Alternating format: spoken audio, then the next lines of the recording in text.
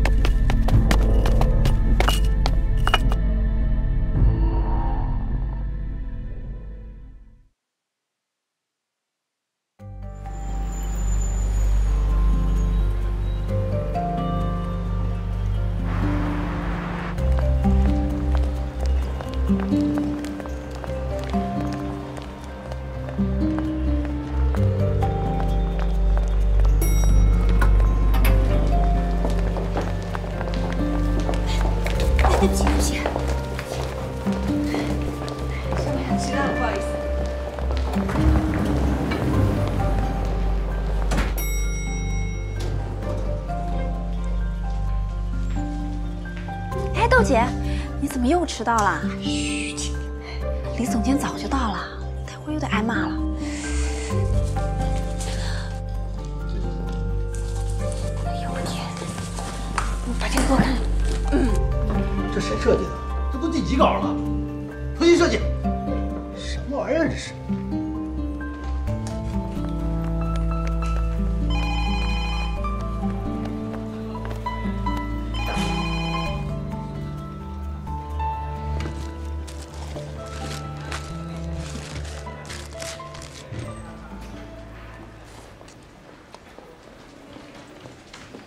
忘了，还有你一快递呢。谢了。哎，我说你最近怎么回事？老迟到。嗯，难不成去约会了？对，我是去约会了。我每天晚上都跟他约会，昨天还折腾到半夜呢。真的？哎，快告诉我谁呀？还能有谁啊？就这几张破稿子呗，折腾来折腾去都快一个月。没劲。哎，我说你这样，你这样不行的，你这样下去，你这样下去嫁不出去的。哎哎哎，你听清楚了，我不是嫁不出去，姐是不想嫁出去，懂了吗？就别自欺欺人了好吗？不是我说你，我这么说都是为了你好呀。我跟你说呀，我下个月可要结婚了。哎哎，我跟你说话呢，你没反应啊？在看什么呢？海滨市花园大道六十八号，靖远，靖远，这名字好熟啊！好像你跟我提过是你男朋友吧？你又和好了？哎，快拆开看，什么东西啊？什么东西？难不成是钻戒？哎，好可爱呀、这小熊。怎么送你只熊啊？谁是谭豆豆？你好。你们是？啊，你好，我们是青阳派出所民警。哦，有什么事儿吗？你是谭豆豆是吧？对啊，桌上放的什么东西？快递啊。拿来。怎么了？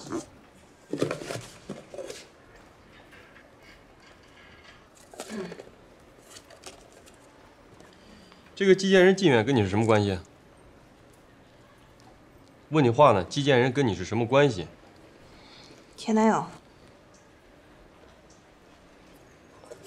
这个盒子里装的是你手上那只熊吗？对啊。拿来。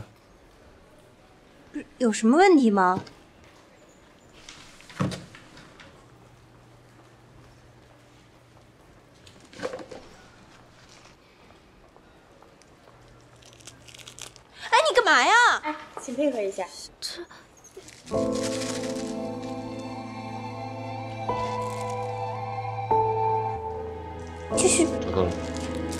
知道这是什么吗？不知道。那我告诉你，这是冰毒。冰毒？我韩小姐，我们接到举报，说你通过邮寄的方式购买冰毒。不是。你也不用解释了，我们会调查清楚的。麻烦你给我们会所里协助调查吧。不是，警察同志，您查清楚，我这刚刚收到的快递，我从来没有买过冰毒啊！有什么话回派出所再说吧。要多久啊？我还上班呢。你先去配合调查吧，好吧？走了。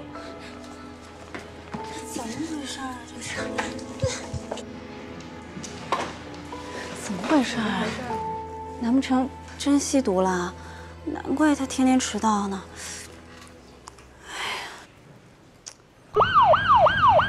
姑娘，我劝你一句啊，早点把你的问题交代清楚，以后量刑的时候对你有好处啊。有多长吸毒史，第几次购买冰毒，对吧？还有那个寄件人，除了包裹上那个地址和姓名，你还知道些什么信息？都说出来。你笑什么呀？警察问话的时候严肃点儿。你应该去问他呀，啊，问那个寄件人靳远，他有多长的吸毒史？他是第几次害人？他为什么给我寄个毒报告？我也很想知道，你去问他呀。你甭跟我这儿嚷嚷啊！我们已经通知海滨警方了，你俩谁都跑不了。这事儿他跟我没关系，我是被陷害的。这个说法不灵啊！我告诉你，抓十个有九个都说是被陷害的，还有一个说自己是第一次。你们不是说有人举报吗？那那个举报人呢？你们把他抓来，不就真相大白了吗？你把你的问题交代清楚，就更真相大白了，好吗？我交代什么呀？我是被冤枉陷害的。姑娘，你一直说这有人陷害你，那我问你啊，你跟你这个前男友啊，现在什么关系啊？他害我，害了我七年不够，他要害我一辈子。你的意思是，他一直是陷害你，这你俩不是共犯，是吧？七年，七年都没联络了，还共什么犯呀？是啊，七年不联系，那他报复你干嘛呀？啊？怎么着？无言以对了是吧？你们你们在泼我脏水！你袭警啊？这是？我就拍了你两下。你拍我两下就是袭警啊！非法持有毒品，有可能贩毒，你还袭警，数罪并罚，够你坐半辈子的。你们冤枉人，冤枉人！你们老实点，我说你啊！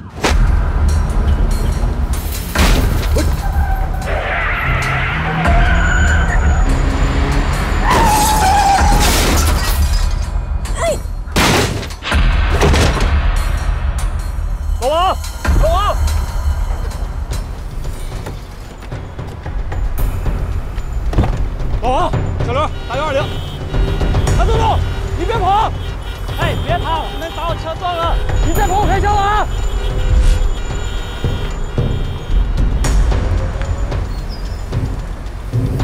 师傅，麻烦你打个幺二零。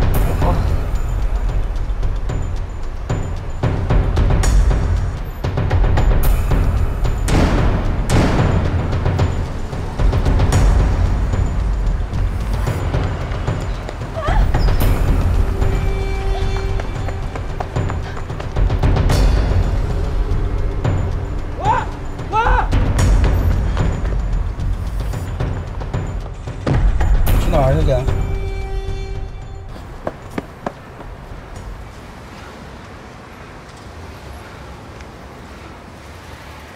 喂，我乔梁，赶快联系交警中心调监控，查一下一个出租车。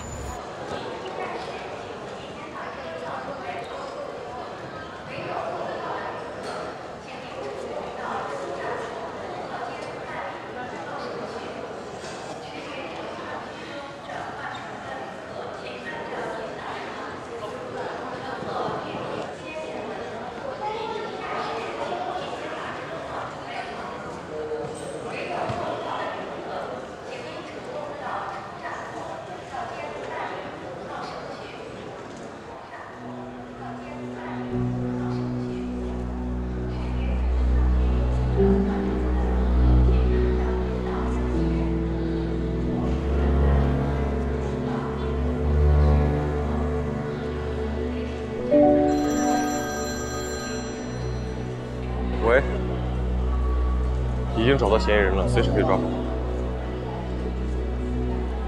什么？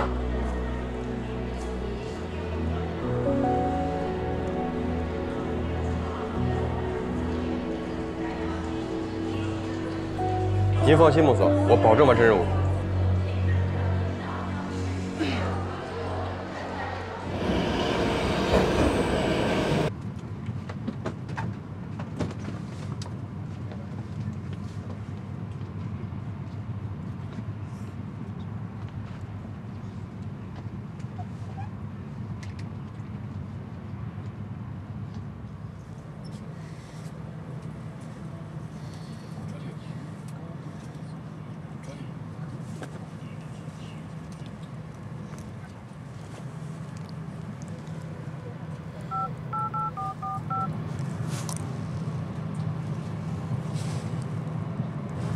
小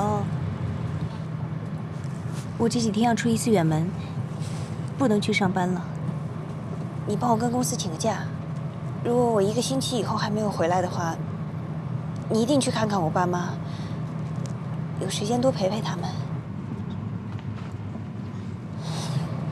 多的你就别问了，你照我说的做，就这样。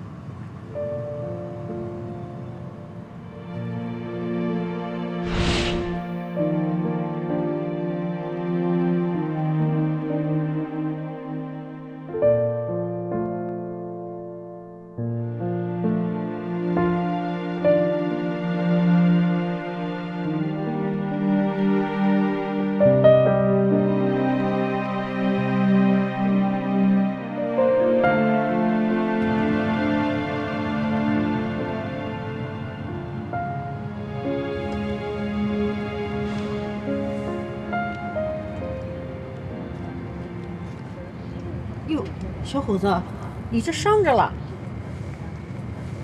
哎，这上头还有呢，没事，你得赶快消毒啊！哎，好，上医院啊！知道知道。哎呦，你不你不处理的话，会，哎呦，会感染的。我知道，哎，知道，谢谢你啊，谢谢你，谢谢你，谢谢谢谢谢谢。记得上医院啊，我记得，要不然会得破伤风啊。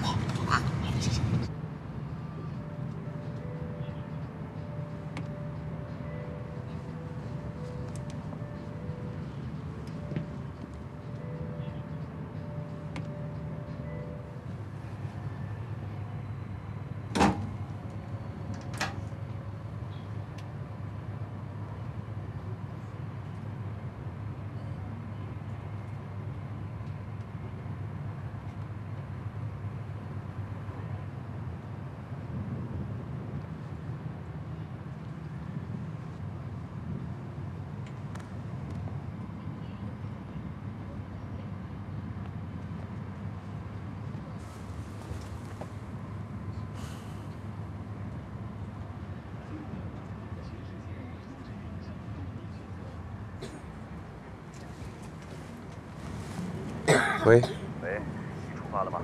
呃，我已经在火车上了，都在。啊，两个嫌疑人的情况你记一下。谭，一九八七年生人，籍贯江苏南京，北京大学美术学院毕业。和另一嫌疑人靳远是大学同学、恋人。靳，一九八六年生人，籍贯福建海滨黎冲，北京大学航天航空系毕业后不知所踪。五年前出现在海滨市。建为海滨最大拍卖行关城拍卖的董事长。好，孟所，我都记下了。您放心吧，我保证完成任务。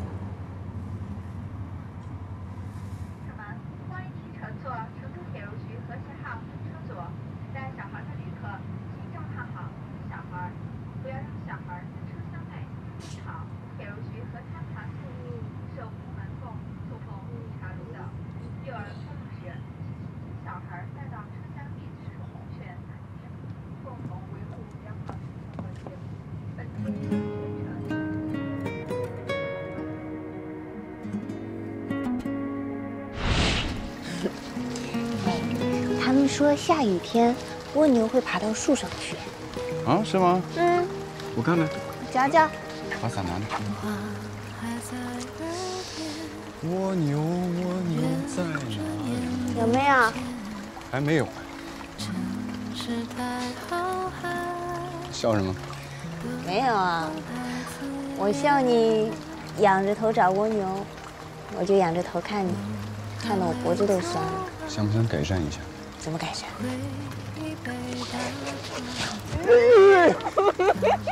现在你可以俯视我了。嗯，上面的空气好好呀。那我就一直这么抱着你。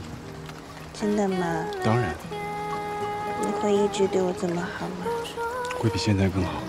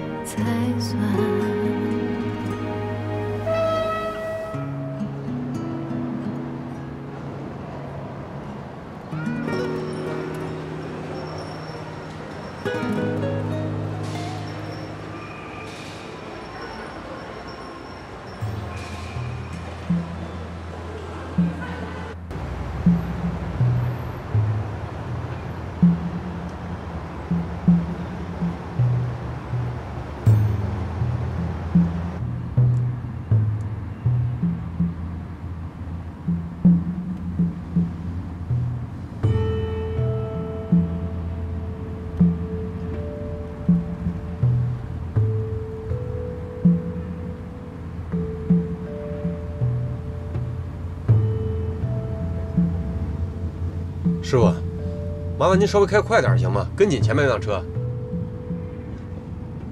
我们这儿不能开太快，安全第一。师傅，您帮帮忙行吗？我我这儿着急着呢。你有什么事儿啊？我警察办案，您能配合一下吗？我能看一眼您的警官证吗？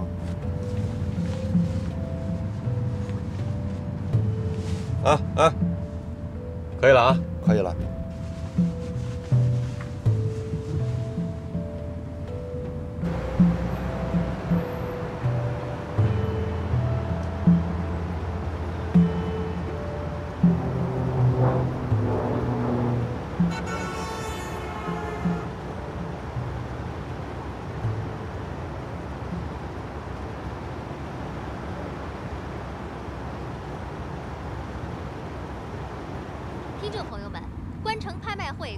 黄雹杯踏片真哎，实师傅事件的新闻，刚才收音机里说什么？说的是关城拍卖吗？没错，说的是关城。海滨交麻烦你把声音开大点。方在现场第一时间给您传来最新消息。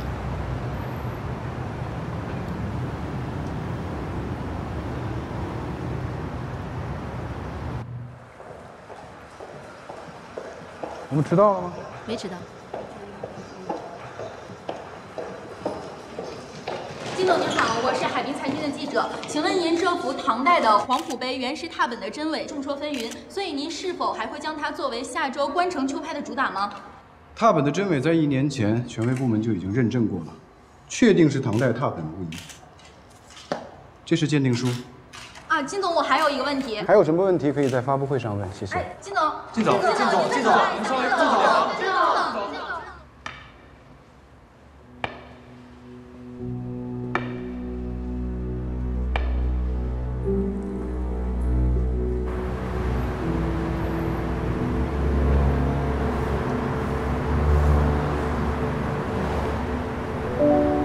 么着？这个关城拍卖在咱们这儿还很有名吗？这关城在我们这儿不光有名，还有一些背景呢。有什么背景啊？具体的不太清楚，反正这公司开了四五年了，挤垮了开了十几二十年的公司。他没背景，他能做这么大？那您还知道什么更具体的吗？比如说，呃，老板具体情况什么的。老板的情况我哪能知道？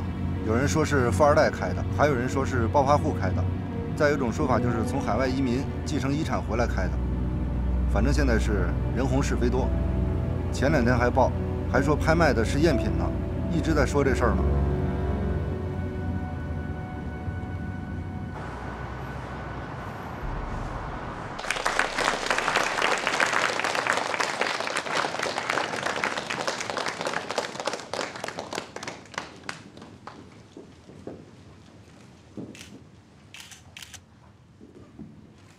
大家好，我是靖远。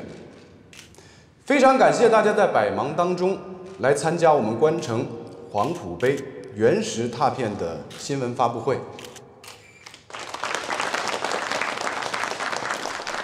哟，吴老您怎么来了？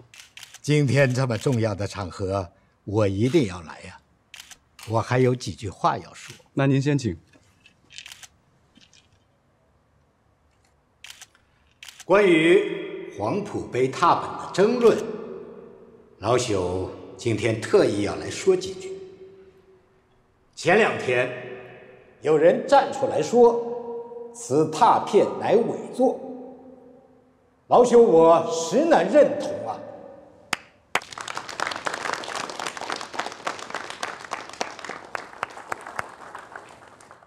但是他们有这样的质疑，老朽我也可以理解。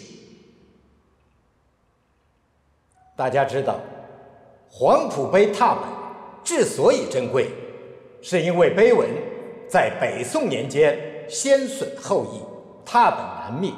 北宋年间已经有方刻版流传，此次关城拍出的版本。较之其他的方刻版而言，更为容光焕发、金光十足。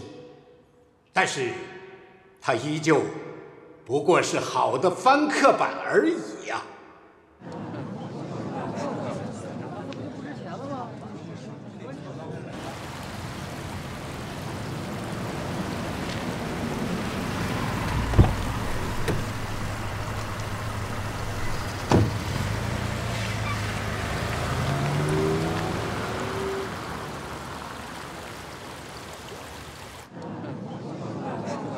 大家安静，让吴老把话说完。唐朝异人异事里有过一段关于碑文的记载，里边清楚地写道：或因顽童乖张，或因四僧不当，导致碑文破损，二三字模糊。但是现在我们看到的这幅拓本完整无缺，所以它虽不是今人所伪造，但它也一定不是唐代的原始拓本呢。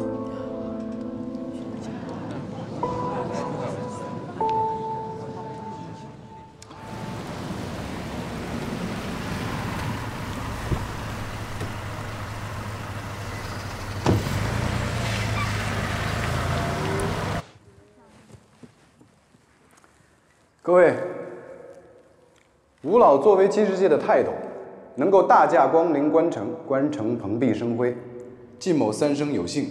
作为晚辈，我斗胆想要跟吴老商榷一下关于拓片的问题。吴老，刚才您说的那个记载我知道，您据此推断，这幅拓本是伪，而恰巧晚辈据此推断拓本为真。也就是说，既然在史料上没有记载明确的年份，而我们对拓片的鉴定也只能估算出一个大概的范围，那吴老又怎么能够断定这个拓片不是出自于碑石完整之时呢？对了，既然我们不能给此拓本定出准确的时间，那么你又怎么能够断定？此拓本乃唐代原始拓本呢？所以，既然我们不能确定此拓本的真伪，我看你们还是不要先拿出来拍卖了。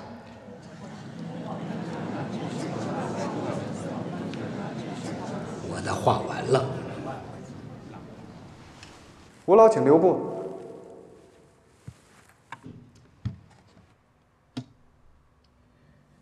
有些事情本来不太适合在今天这个场合说，但是吴老是金石界的泰斗啊，一言九鼎。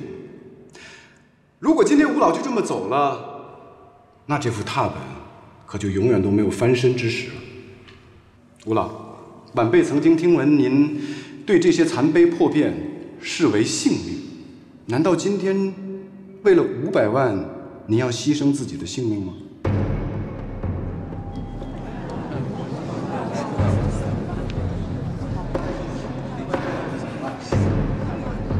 五百万？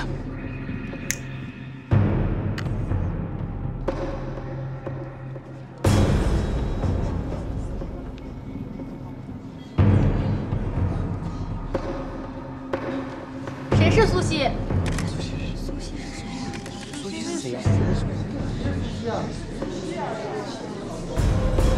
有些人呢，其实今天也不应该把他牵连进来。大家可能不知道，吴老在上个月再婚了。苏西呢，是吴老的新任太太。恭喜你啊，吴老！我想，您愿意牺牲自己的性命，就是因为这个原因吧？你不择手段！吴老，赶快送医院。请问您是通过什么途径取得银行汇款凭证的？那么吴老说的不择手段又是指什么？感谢你的提问，也感谢吴老刚才说的“不择手段”这四个字，更感谢那些一直以来对黄埔杯提出质疑的人们。今天发生的一切，大家都亲眼所见，到底是谁不择手段，不言自明。那请您说一下，你口中的人们是指谁呢？当然是那些躲在背后放冷箭的人，说不定他们就坐在今天会场的某一个角落。这个行业需要的是良性竞争。最后，我想通过媒体转告一句：关城不惹事儿，不挑事儿，也绝不怕事儿。今天的发布会到此结束，谢谢大家。金总，金总，金总，金总，金总，金总，金总。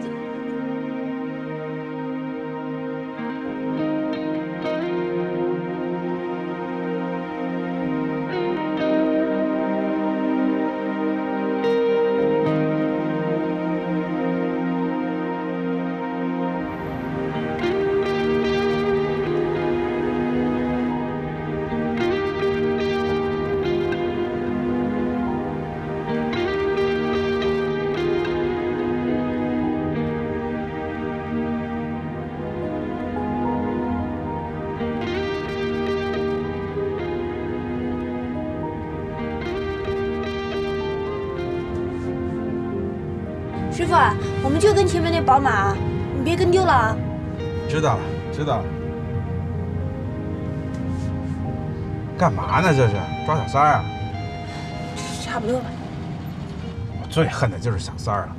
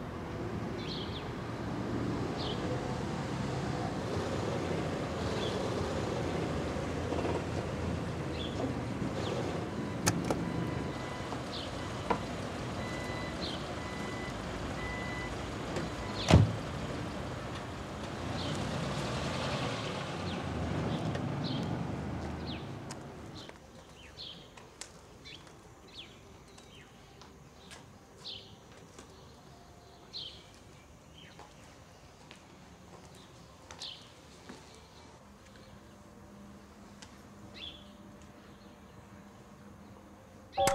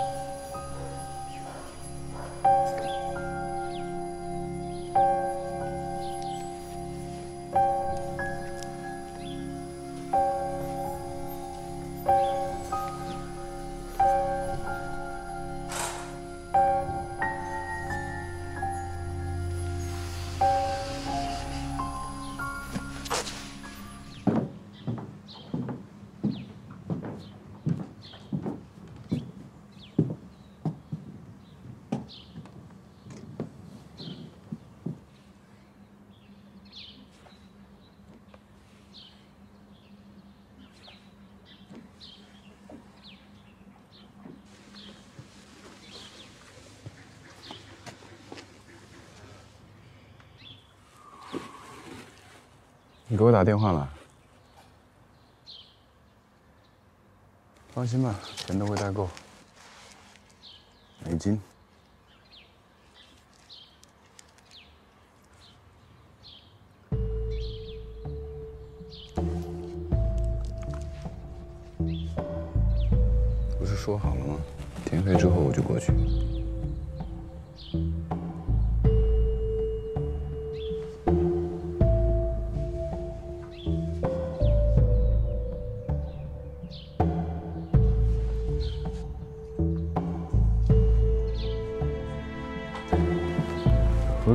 作那么长时间，你还不知道吗？我是个讲信用的人。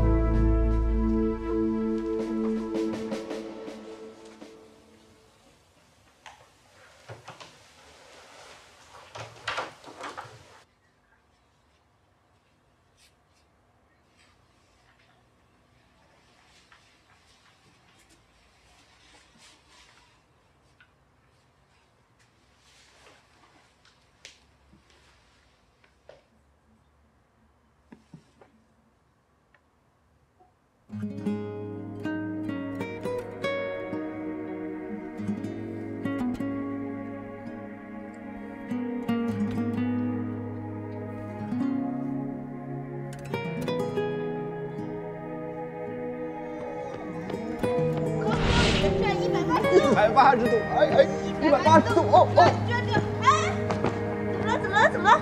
没事吧？没事哎呀。哎呀，快毕业了，大家都要各分东西了，还好，我俩不用分开。好危险啊！我还没有好好照顾你，怎么会舍得让你死呢？嗯，你这么爱我呀？我爱你就像我爱吃花生豆。你把我跟花生相提并论啊？对啊，你和花生是我这辈子的最爱，所以只要有一天我靳远还爱着吃花生，我就还爱着谭豆豆。刚才还说要好好照顾，现在你就欺负我，那我弥补你一下呗。那你怎么弥补啊？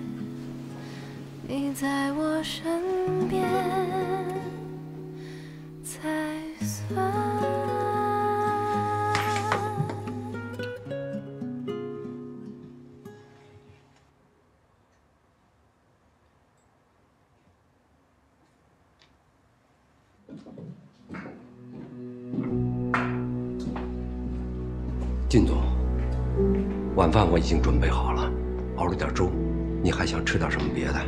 不用了，晚上我还有事。